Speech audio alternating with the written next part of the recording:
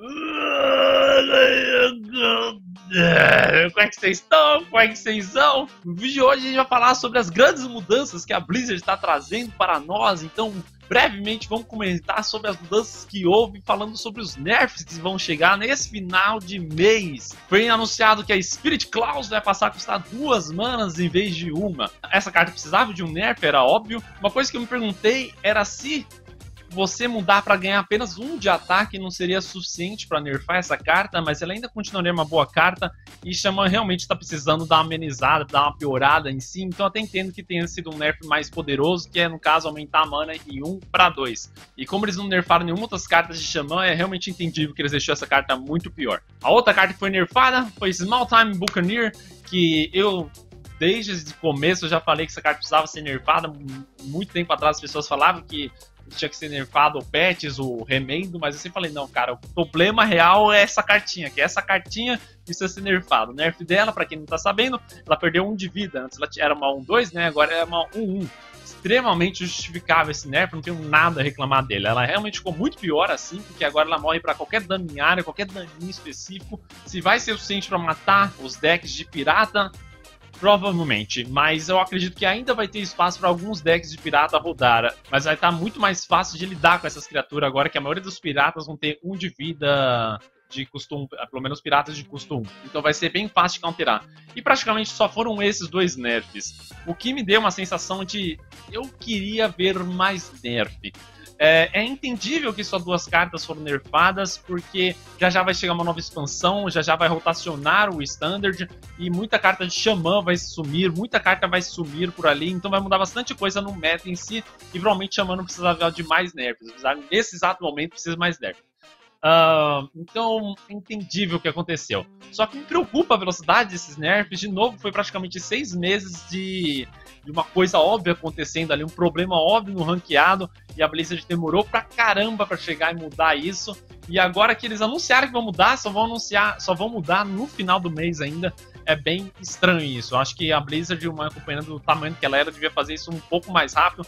É, elas têm essa filosofia de tentar deixar os jogadores experimentar os decks para ver se conseguem achar algo que contere essas cartas, mas desde sempre eles seguiram essa filosofia e desde sempre ela não tem funcionado muito bem. Só uma vez em, na vida da história do Hearthstone, meio que na metade de uma expansão para outra, é, o ranqueado estava estagnado e de repente surgiu um deck que ninguém tinha pensado que foi o deck Mutim só foi uma vez nesses anos e anos de Hearthstone. Então acho que isso já mostrou pra Blizzard que ela tem que ser mais rápida nos nerfs. A vantagem de ter cartas digital é exatamente isso. Você pode nerfar as cartas e ninguém ser tão punido assim é, você nerfando as cartas, já que eles podem, eles podem dar o pó de volta para você. Então, belo passo da Blizzard, obviamente isso é bom para o sistema ranqueado, para quem gosta de ranqueado, maravilha isso, só que eu ainda acredito que eles precisam ser mais ligeiro nisso e precisa dar, mostrar que eles estão mais espertos com isso, não demorar esse tempo inteiro para nerfar e acontecer sempre o que está acontecendo desde sempre no Hearthstone.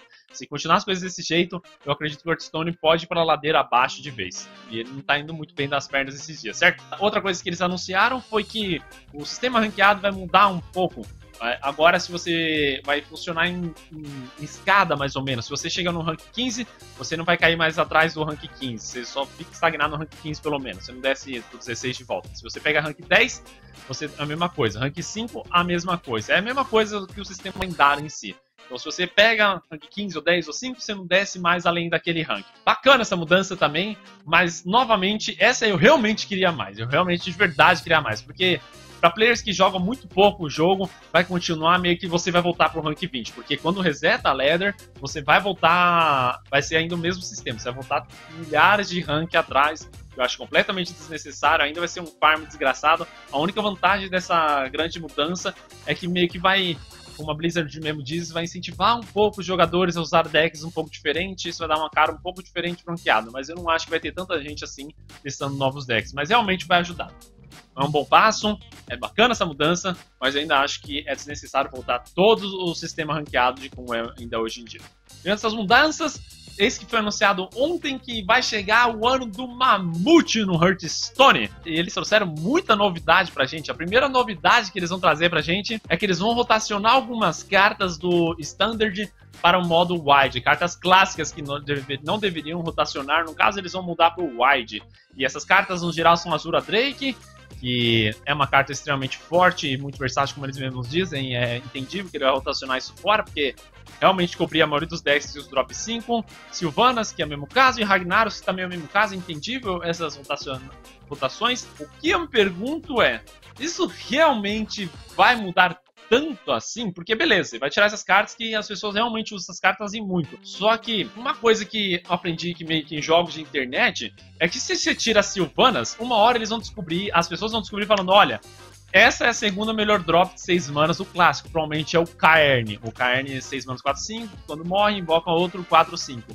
E aí eu me pergunto, será que todo mundo vai começar a usar, em vez de Sylvanas, a usar Caern? Aí não vai mudar muita coisa, certo? Vai ser uma carta que sempre vai estar sendo usada. Eu entendo que isso talvez abra um pouco o leque de expansões. Talvez, tipo, 100% das pessoas que usavam Sylvanas não vai ser 100% que vai usar KN, certo? Eles vão poder ter uma outra outra opção um pouco melhor, um pouco diferente, talvez varie um pouco, mas me passa a impressão, e eu posso estar errado quanto a isso, que não vai mudar muita coisa assim. Eles vão descobrir uma carta de 6 manas que vai ser a melhor do meta e vão continuar usando aquela. A carta de 8 manas substituir o Ragnar e uma carta de 5 manas para substituir a Azure Drake. Que é bem difícil também substituir a Azure Drake. Eu acho que a única carta que realmente faz sentido que eles terem rotacionado que não vai ter uma substituição, vai ter uma substituição exatamente, vai ser o Azure Drake, que é realmente algo bem diferente isso aqui. Mas enfim, isso me dá um pouco de medo, mas eu acredito que eu posso estar errado mesmo e sem problema. Além dessas três cartas básicas, eles vão mudar algumas, eles vão colocar algumas cartas de classe também, começando com Power Overwhelming, Ice Lance e Conceal. É, essas cartas que eles tiraram também é entendível. Eles parecem que eles estão tentando meio que aniquilar certos decks específicos que existiram por muitos anos no Hearthstone e de vez em quando acabam voltando. No caso, o Conceal eles vão é, tentar derrubar o Ladino Actioneer, o Milagroso, o, o Miracle no caso. O Excelência eles vão tentar detonar o Freeze Mage. E o Power of eles vão tentar detonar um pouco o Zu. Mas aí eu também me pergunto se, se isso é realmente a coisa certa a se fazer. Beleza, eu acho que vai mudar um pouco os decks. Do Power of eu até entendo, não choro muito pra esse, mas a Silence Mago já tinha bastante tipo de deck diferente e eu acho o Freeze Mage um deck muito interessante e muito satisfatório de aprender a jogar. É um deck que mostra a diferença de, de habilidade dos jogadores. Se você tirar Freeze Mage, meio que empurrece os tipos de deck que tem. Porque o Freeze Mage é um deck que exige muita capacidade do jogador e apesar de ir contra a ideia de, da Blizzard de ah, você não é interativo o suficiente, porque se congela o player e não consegue fazer nada. Eu acho isso um pouco de bobagem forçada da Blizzard, porque nesse caso, pelo menos, ainda mais que o Imperador vai rotacionar fora, então Freeze Mage eu não acho que ia ficar tão forte assim e sei lá, né? Eu não acho que ia ser tão interessante. E o Conceal, eu acho que é o mais é o mais é o que mais faz sentido rotacionar, porque ele é realmente muito forte com o Ladino junto com o Leiloeiro. Entretanto, o Ladino, a, a, praticamente a história toda do Ladino no Hearthstone foi Lelo, é, deck de, com Leloeiro Milagroso, ou então deck de óleo que rodou por um pouco tempo no, no Hearthstone. Então se você vai tirar, você já tirou o deck de óleo do, do, do Ladino, você vai tirar o deck de Miracle agora do Ladino.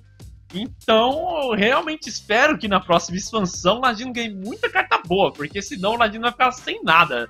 Ele nunca conseguiu fazer nada muito bom além dessas duas coisas. Então, essas são minhas preocupações no geral sobre essas cartas, mas 100% entendível o que eles fizeram para dar mais gosto pro ranqueado e modificar algumas coisas. Uma coisa interessante que eles vão fazer, que é muito inteligente, é que eles não vão fazer que essas cartas que vão rotacionar custem o pó de volta pra você desencantar, pra você ficar desencantando tudo que você quiser e ganhar o pó de volta que você gastou. O que eles vão fazer é muito inteligente, na minha opinião, que é você continua com a carta e vai ganhar o pó dela. Então você não precisa desencantar ela. Isso me incentiva o jogador a não desencantar a carta, ainda mais que ela provavelmente vai custar um custo normal de desencanto. Você não vai ganhar um bônus absurdo. E junto a isso, se você tiver cartas douradas dessa carta, se você tiver, por exemplo, dois seal dourado e dois normal, você vai ganhar o pod dois com seal dourado e apenas esses. Você não vai ganhar dois com seal dourado e dois com seal normal. Isso também foi muito inteligente por parte deles, por mais que eu tentei meio que abusar disso e não vai rolar que isso evita também que jogadores continuem é, guardando carta infinitamente, como muitos jogadores fazem, para quando rolar um nerf, você desencantar tipo 20 conceals de uma vez e ganhar muito, muito, muito pó. Matou dois coelhos com uma caixa da Zasok, que foi muito inteligente, na opinião, que foi tirar esse abuso de pó dos jogadores, é, que não parece muito certo, e ao mesmo tempo incentivar que os jogadores não desencantem as cartas para você usar elas no wide. E falando em wide, eles finalmente vão começar a focar em outros jogos, em outras formas de jogar Hearthstone, além do ranqueado standard, o modo padrão. Eles vão começar a focar no wide agora. Estão falando que vão trazer uma taverna heróica wide pro Hearthstone. Muito interessante isso. Mal posso esperar para jogar isso. Eu me, me interessa demais com esse tipo de coisa. Vai ser bem divertido, na minha opinião. E não só isso, eles também estão prometendo campeonatos formato wide que, meu Deus do céu, não, por que não? Finalmente eles estão focando em outra coisa. O Hearthstone tem tanto potencial para explorar tanta coisa dentro do jogo, eles só exploravam o modo normal, normal, ranqueado, padrão, padrão, padrão. Isso é muito inteligente deles, ou finalmente abriram os ouvidos, abriram os ouvidos, eles estão ouvindo a comunidade, estão pedindo isso há muito tempo. Isso vai ser muito bacana. É uma iniciativa fenomenal. Não tem como achar ruim isso. Finalmente o Wide as pessoas também vão começar a levar um pouco mais a sério, provavelmente. Isso vai incentivar as pessoas a jogarem mais o Wide, vai ser bem bacana. Entretanto, tem que ter um entretanto na história. Isso quer dizer que a Blizzard vai ter que ficar mais ligeira ainda com os nerfs, porque o Wild é realmente insano. As, as cartas lá começam a ficar muito insano, alguns como você pode fazer, e os decks ficam muito poderosos. Então a Blizzard vai ter que tomar cuidado para ter que nerfar algumas cartas pensando no Wild também, e dessa vez eu espero que eles façam isso com mais rapidez no caso, porque com certeza vai ter alguns decks no, no Wild que vai estar tá muito, muito forte além da corta e eles vão ter que precisar nerfar algumas cartas. Além disso, eles também disseram uma nova grandíssima mudança que em vez de normalmente, como sempre é uma aventura e duas expansão, ou duas aventuras e uma expansão por ano. Dessa vez eles finalmente mudaram, estão trazendo uma grande novidade pra gente, que é de esperar do Hearthstone, que é um jogo grande como esse, finalmente mais novidades. Que vai ser três expansões, no caso, e não só três expansões, como eles também querem fazer que a expansão ainda tem como fosse um modo aventura. Vai ser, imagino que não vai ser igual, vai ser um pouco diferente, mas vão ser missões secundárias que você não precisa fazer exatamente, não é obrigatório, e você vai receber alguns pacotes extras da expansão. Então você vai ter uma expansão com muitas cartas e um, um pequena aventurazinha aí para você se divertir, ter um pouco de lore, de conhecimento sobre a expansão em si. Fenomenal isso. Eu acho muito boa essa ideia. Primeiro que quanto mais cartas por Hearthstone, mais interessante o jogo fica, na minha opinião. Uh, uma das coisas mais legais do jogo é você montar um deck diferente, jogar com um deck muito bacana, que faça mil coisas diferentes. Um outro ponto também que as aventuras, comparando com a expansão, elas não bombavam tanto no Hearthstone quanto as expansões. As expansões sempre bombaram mais que as aventuras, tirando algumas exceções que aventuras que deram muito certo, tipo a Liga dos Exploradores.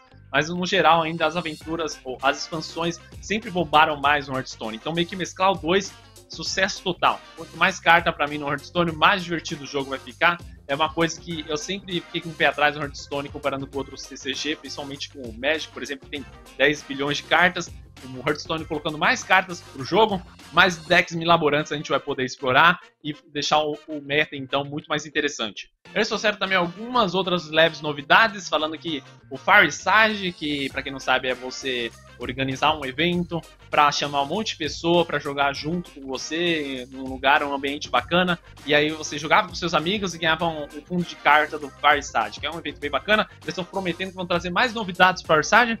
Só não falou o quê? Eles também falaram que vai ter grandes, vai ter muitas novidades quando a expansão chegar mas também não falaram o que vai ser exatamente. Outra pequena novidade vai ser login diário que eles vão trazer para o Hearthstone. Você loga diariamente no Hearthstone, você vai ganhar uma recompensa com isso. É um, um sistema muito básico que se encontra em muitos jogos, principalmente de celular ou por Facebook, esses tipos de jogos assim. Para mim, maravilhoso, eu não vejo problema nenhum ter um sistema desse no Hearthstone. Meio que influencia a pessoa toda hora ficar jogando, que pode ser meio ruim para algumas pessoas acharem isso, mas no geral você está ganhando coisa de graça, então não tem por que reclamar. O que eu acho estranho é que eles vão fazer isso apenas temporariamente. Talvez eles vão testar isso, eles vão ver como é que se sai, como é que fica a coisa, eles vão ver talvez se vai ajudar a crescer o Hearthstone a voltar, a engrenar bem e as pessoas voltarem a jogar Hearthstone mais e mais.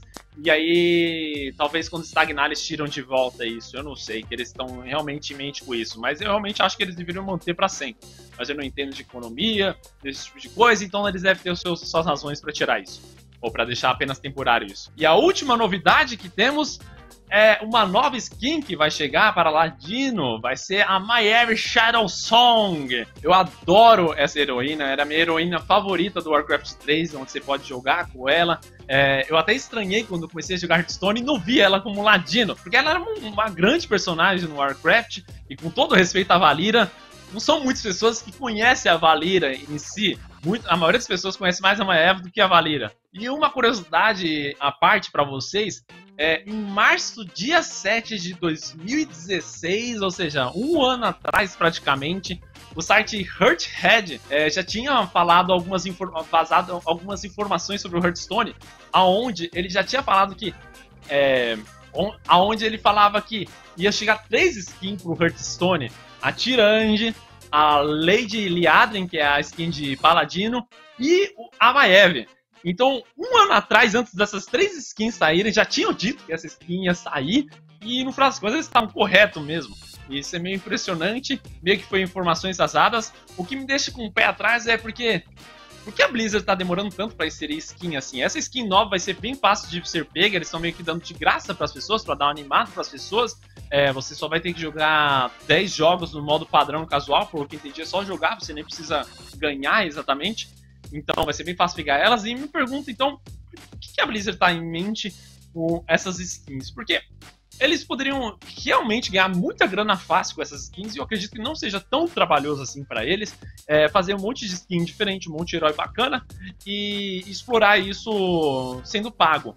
Isso me faz pensar que a Blizzard realmente se preocupa como para dar importância aos devidos heróis no, no, no, Hearthstone, os heróis do World of Warcraft, eles querem aproveitar muito bem cada herói. Isso me faz questionar o porquê disso. Eu tinha pensado que antigamente eles faziam isso, que eles não queriam te encher de skin, e eles tinham meio que um dilema de se eu tenho uma skin X, eu não quero que exista a carta dessa mesma skin. Mas isso meio que foi por água abaixo quando chegou o Medivh. O Medivh, você pode usar o Medivh e usar a carta do Medivh. Então me faz realmente acreditar que a Blizzard não quer explorar o dinheiro dos jogadores, mas. Sei lá, né? Eu não acho que seria ruim. Eu não compraria um monte de skin, mas eu sei que muita gente comprar e seria bom pro Hearthstone ganhar muito dinheiro, os caras poder investir mais no jogo, certo? Então, faz perguntar por que eles demoram tanto para lançar skin assim. Eles tinham três skins programadas há um ano atrás e só lançaram as três um ano depois. É meio chocante isso, né? Certo? Eu tô meio errado nisso? Enfim, galerinha. O vídeo é esse, a análise são essa. Espero que vocês tenham curtido. Se vocês curtiram, dá um curtir lá embaixo pra nós. Um abração pra vocês. Meu Deus!